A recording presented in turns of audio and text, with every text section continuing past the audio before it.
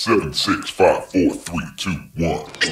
Oh, this you crazy mother. So I've already covered popular 2020 midsize SUVs to avoid and the better options. Also popular 2020 small SUVs to avoid and the better options. You can find links to both of those videos in the description below. Today, popular 2020 compact cars to avoid and the better options. Let's get started. We begin with the 2020 Chevrolet Spark. MSRP range between 13 and 17,700. Overall miles per gallon 33. Now, it's a small footprint, easy to park, has elevated seating position, but it doesn't make up for a loud cabin, so-so fuel economy for the size, and active safety features that are available only on the top trim level. This from my friends over Consumer Reports. There are simply better economy cars out there for the money, as well as larger ones that deliver similar fuel economy numbers. Consumer Reports testers describe the Spark as, quote, a rudimentary, bare bones penalty box, unquote, and noted that while the car performed well in braking and crash avoidance maneuver tests, acceleration, interior fit and finish, and road and engine noise, they were all dismal. The better option, the 2020 Honda Fit. Price range between 16 and about $21,000. Overall MPG the same at 33. Reasons to buy the Honda Fit: good reliability, fuel economy, small footprint, and a cavernous interior. Reasons you might want to skip it: rough ride according to Consumer Reports, noisy cabin, poor acceleration, active safety features aren't standard. Now, the under the radar alternative is the 2020 Volkswagen Golf.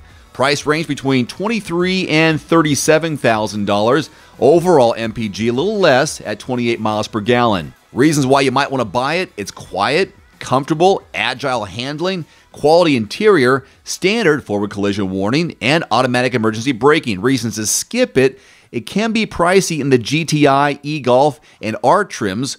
Only one non performance trim level is available. Another popular small car to avoid, the 2020 Kia Rio, price point between 16 and $18,000. That's really good. Overall MPG, 33 miles per gallon. We've heard that number before. A basic economy car with uninspiring interior, according to Consumer Reports. The Rio turns in decent fuel economy numbers and has easy to use controls. Acceleration, though slow, is competitive for the class, but the engine buzzes loudly during hard launches a harsh, noisy ride and hard plastic armrests make for an uncomfortable driving experience. Forward collision warning and automatic emergency braking aren't standard across all trim levels. On the plus side, Kia provides a generous warranty. Now, the better choice, the 2020 Hyundai Elantra, price point between 19 and around 25 grand. Overall MPG right there again at 33 miles per gallon. Reasons to buy this one roomy interior, good fuel economy, standard active safety features. Reasons to skip unresponsive steering, uninspiring handling, unsupportive front seats. Now, the under the radar alternative is the 2020 Toyota Yaris. Price point between 15,650 and just under 19 grand. Overall MPG, here it is, 35 miles per gallon. Reasons to buy it?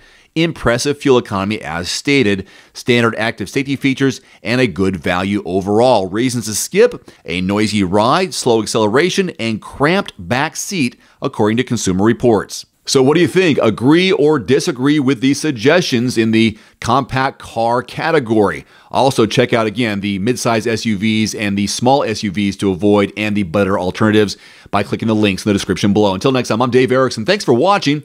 See you back here next time. Adios. One more thing before you go. I've added links in the description below to some of the best selling automotive accessories and products on Amazon right now, plus links to some of the product reviews I've done. You can find it in the description below this video. And if you don't mind, take a couple of seconds and click that subscribe button. I'm uploading two, three, sometimes four new videos every week, and I don't want you to miss anything. Plus, it helps support my channel. As always, if you have any constructive criticism, thoughts, or suggestions about my video, please leave it in the comments section below.